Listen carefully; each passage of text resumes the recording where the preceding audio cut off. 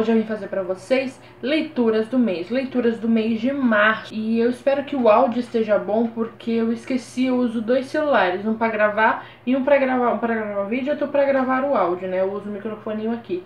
Só que o outro celular descarregou, então eu preciso gravar esse vídeo agora, porque já são uma hora da manhã. e eu preciso gravar, então eu espero que o áudio esteja bom, esteja alto. Mas vamos começar com as le... vamos começar com as leituras não, é somente as leituras. Eu não vou fazer book haul e leitura juntos. Por quê? Por quê? Tem um motivo. É Veda, a gente tem que enrolar, precisa de vídeo, então eu vou fazer separado.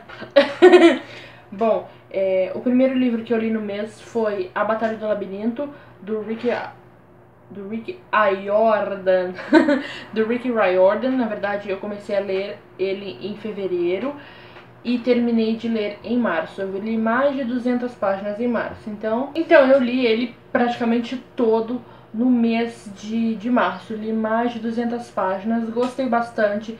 Eu achei que foi um dos que teve mais ação.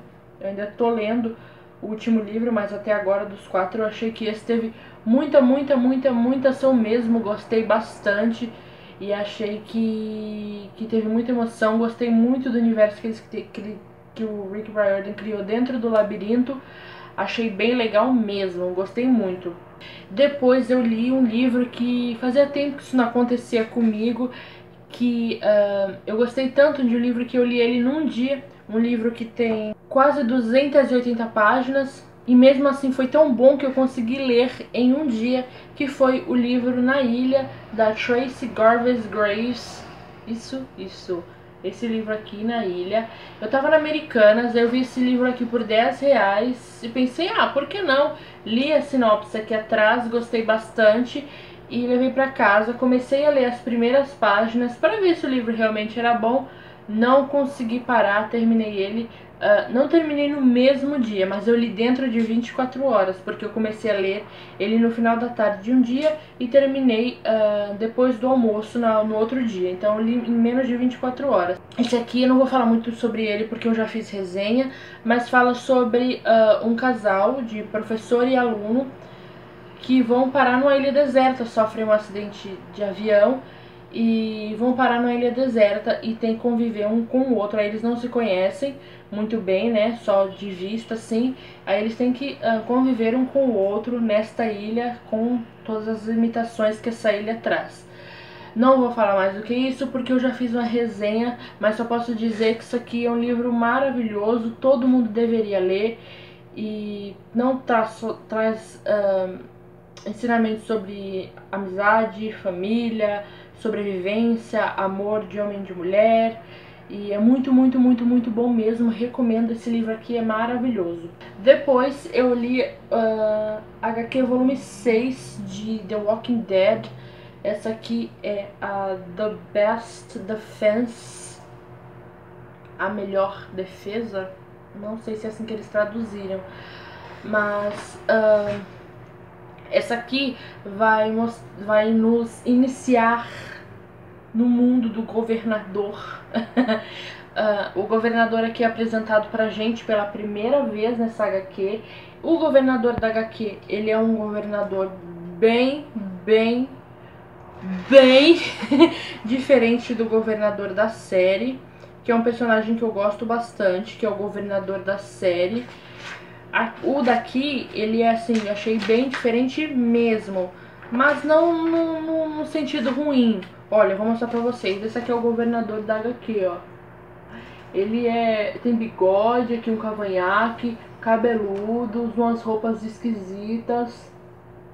O que acontece? É, eu acho que porque a série de TV ela tem que ser um pouco mais censurada e não tão forte quanto a HQ. A HQ ela é bem forte, o, o governador ele ele sequestra a Michonne e mais ou menos igual da série, né? A Michonne vai para Woodbury e ele faz barbaridades com ela, então uh, é muito difícil ler o que ele faz e ver o que ele faz com a coitada da Michonne, que é um personagem que eu gosto bastante. Mas aqui é, vai ser apresentado o governador E muito boa, muito, muito, muito, muito, muito boa, gente. Muito, muito, muito, muito boa mesmo. Recomendo as HQs de Walking Dead. Eu, eu não sei quantas versões tem uh, aqui no Brasil em português, mas eu acho que tem até a 6 ou a 8 dessa versão aqui, que tem 6 HQs aqui dentro. Aquelas de banca, né? Depois eu li o livro A Cura Mortal, do James Dashner, que é o terceiro e último livro Deixa eu tirar meu marcador daqui de dentro, que eu vou usar no outro livro. É o Marcador de Crepúsculo e Vida e Morte. que esse aqui uh, é o último livro da trilogia Maze Runner. Que uh, vai finalizar, né? A trilogia. Esse é o último vai finalizar, né? Com certeza.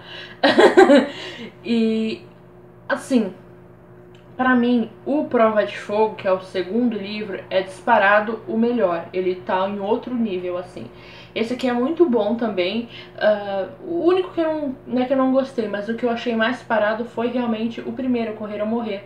Esse aqui já tem uma ação, tem uma ação legal, mas não é igual Prova de Fogo. Claro que nenhum livro é igual ao outro, apesar de ser da mesma série escrito pelo mesmo autor. Eu achei que, que certas coisas aqui não precisavam ter acontecido. E o final eu gostei, mas eu achei meio bobinho, sabe? Uh, apesar de uma coisa bem chocante acontecer no final, eu achei que o final foi um pouco, pouco bobinho, mas não tirou a beleza da, da trilogia. É uma distopia muito boa. Eu recomendo que vocês leiam essa trilogia. Eu vou falar um pouco mais sobre a trilogia no meu vídeo de atualização sobre as minhas séries lidas e que estão em andamento e que foram terminadas. Essa aqui vai estar na categoria de série terminada porque foi uh, realmente uma trilogia muito boa, tem bastante ação.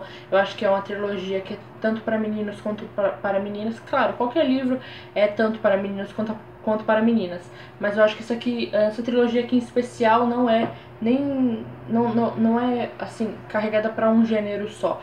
É, acho que para, para os dois gêneros, né, feminino e masculino, é muito bom para quem gosta de ação, para quem gosta de distopia. Uh, é muito legal. O mundo que o James Dashner criou é bem legal. O último, o último que eu li, na verdade não foi o livro, foi a o sexto volume de The Walking Dead, que se chama This Sorrowful Life. Uh, eu disse que eu ia ler uma por mês, mas o que acontece? Vai acabar agora a sexta temporada de Walking Dead. Dia 3, né, de, de, de, de abril. E o que acontece? É, vai aparecer esse personagem novo, esse vilão novo. Primeiro, o primeiro vilão que teve foi o governador, depois foi o pessoal do Terminals, os Wolves, e agora vai ter o Negan. Só que eu, sei bastante coisa sobre o Negan, só que coisas que eu pesquisei na internet e coisas que eu vi no YouTube. E eu não tenho, uh, não, não, não li até aí, né? Eu tô, ainda tô no volume 6. Falam que ele aparece na sequência de HQs da banca ele aparece no volume lá pro volume 100, então ainda faltam muitas. Eu tenho que ler todas as que eu tenho aí e comprar as outras. Então eu vou ler mais ou menos umas duas, três por mês para me poder chegar até em outubro vai estrear a sétima temporada. Eu quero chegar lá na sétima temporada sabendo uh, como que é esse vilão e o que, que acontece com ele. Então tô adiantando um pouco as HQs, li também o volume 6 de Sorrowful Life. Aqui acontece, como eu já disse na outra HQ, o governador ele faz barbaridades com a Michonne e aqui a Michonne vai procurar a vingança dela e também faz atrocidades com o governador. É um pouco chocante as coisas que ela faz com ele, não é nada comparado com a série de TV. A série de TV, ela simplesmente pega um caco de vidro e fura o olho dele. Aqui ela tortura ele de forma bem cruel e agoniante. Dava até uma agoniazinha de ficar lendo. Mas uh, aqui eu acho que o governador ele já era um, vilão muito ruim.